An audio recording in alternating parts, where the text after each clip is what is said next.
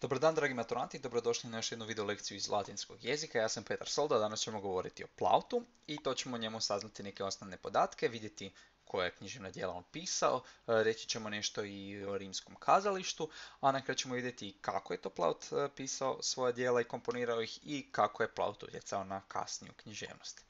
E, za početak bih volio da razmislite zašto su nam neke stvari smiješne, zašto se na neke stvari smijemo, zašto nas one nasmijavaju, zašto nešto smatramo duhovitim, recimo kad gledamo neku seriju, zašto nas ona nasmije. E, I zanima me, mijenja li se taj smisao za humor, odnosno nekakav ukus možda za humor tijekom vremena. Dakle, je li on isti kakav je bio prije 50 godina, prije 100 godina, prije 1000 godina, ako je, zašto je, ako nije, zašto nije, na temelju čega to zaključujete.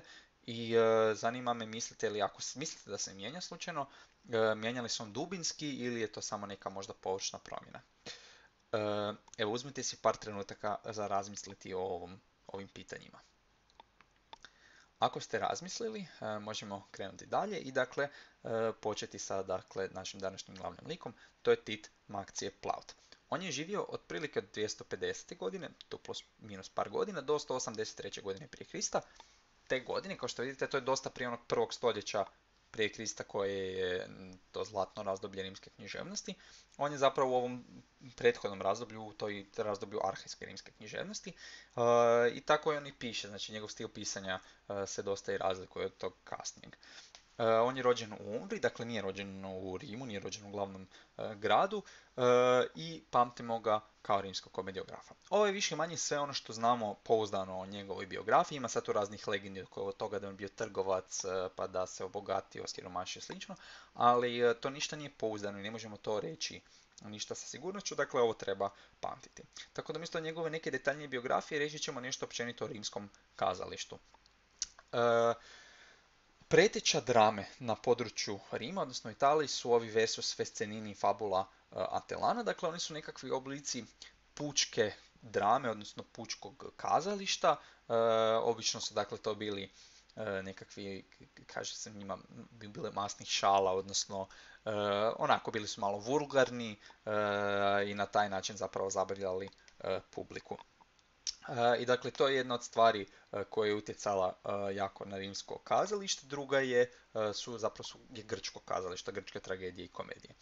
I na tragu toga, ono što se često spominje kada govorimo o rimskoj drami, su te dakle, razne fabule, odnosno razne vrste drama koje su se izvodile.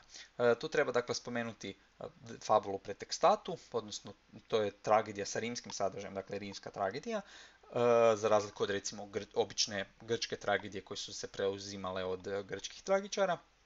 Imamo fabulu Palijatu, to je grčka komedija, odnosno komedija sa grčkim sadržajem gdje nose, imena Grka, e, gdje nose grčka imena i zapravo sadržaj su nerijetko preuzeti iz nekih grčkih komedija. I fabulu Togatu koja bi bila dakle neka prava rimska komedija.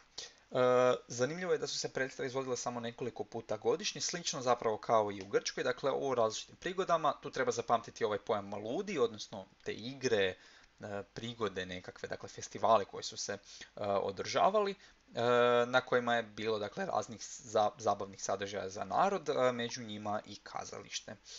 I za potrebe tih ludi e, su se gradila privremena drvena kazališta. Dakle, ova neka kamena, stalne građevine, to je došlo tek kasnije.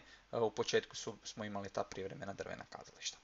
E sad, vratimo se malo na, vratimo se nazad na našeg Plauta e, i pogledajmo e, što znamo o njegovom književnom opusu. Njega smatramo majstorom te komedije Palijate, ako se vratimo slajd nazad, vidimo to je ova dakle, komedija s grčkim sadržajem i on je zaista dosta toga preuzimao od Grka. I tu se vidi velik utjecaj te novoatičke komedije, e, na primjer to nam je poznat autor Menandar, gdje on preuzimao i likove i scene i mm, zapravo radnju upravo iz tih novoatičkih komedija.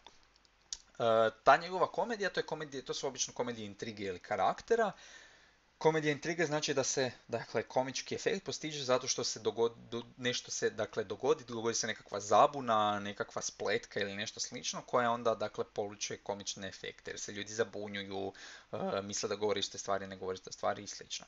Uh, I imamo, dakle, komedija karaktera proizlazi iz toga da je netko nekakav karakter, na primjer, ako imate nekog čunkrisevog starca, onda će nam biti smiješno jer on na tipičan način reagira na, na, na, situacije. I zapravo postoje tu i tipični događaj i ti tipični karakteri koji se pojavljuju kod Plauta. Dakle, ono, ponavljaju se kroz njegove komedije. To su uvijek neki lukavi rob, neki takav čan krizavi škrti starac, pa onda nekakav hvalisavi vojnik i tako ima, dakle, nekakva lukava, lukava prostitutka ili, ili slično. Uh, imamo dvadesetak njegovih očuvanih, to je točno 20 njegovih očuvanih komedija, uh, bilo ih je puno više, ali dakle ove su nam se uspjeli očuvati. E sad, spomenut ćemo možda najbitnije, najvažnije od njegovih komedija, to bi svakako bio recimo Čup, odnosno Aulularija.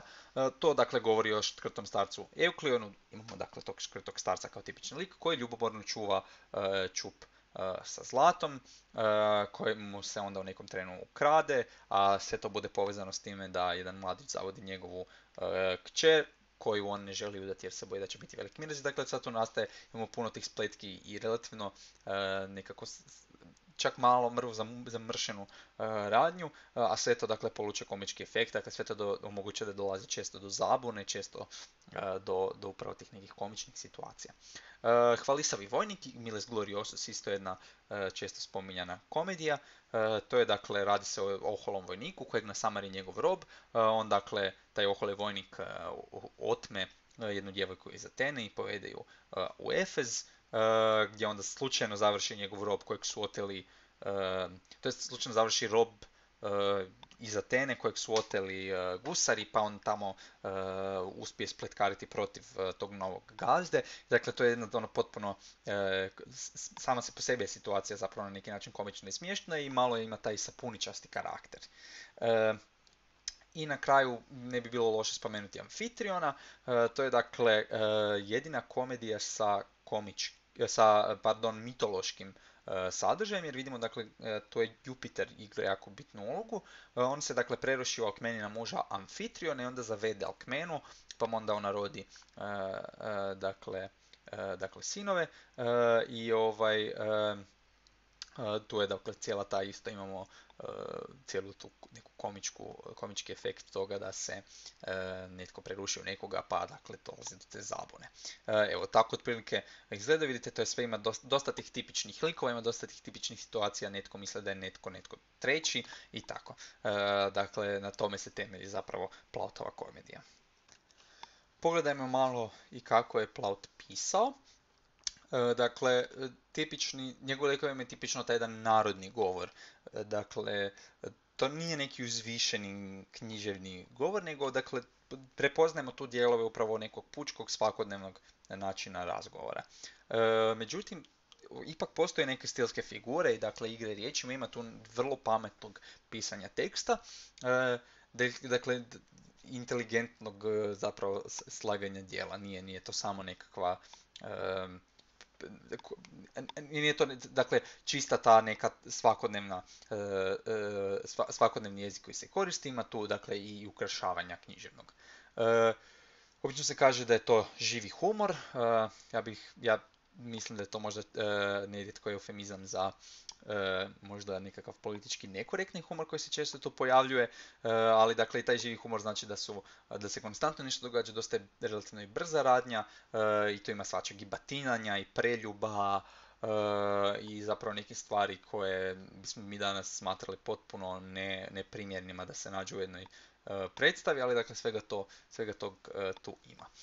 I na kraju jedan od zanimljivih postupaka kada govorimo o tom nekom komponiranju, načinu na kojem je komponirao uh, svoje komedije je kontaminacija. To znači da on uh, na neki način kombinira grčke komedije. On možda uzme jedan predložak ili ideju jedne komedije, uh, a onda u nju ubacuje dijelove druge i on zapravo sam to priznaje u recimo prologu, kaže e, ja sam koristio taj taj postupak. Dakle, to je način na koji Plaut stvara svoja dijela. On dakle nije nužno uvijek samo jedna komedija, nego i zna malo izmiješati, dodati nečeg svog i recimo on na taj način, na neki način i opravdava E, to da su to zapravo nisu kopije grčkih komedija, nego njegove izvorne dijela, jer je on tu unio e, i nečeg svog i na neki način premiksao, e, premiksao ranija književna dijela.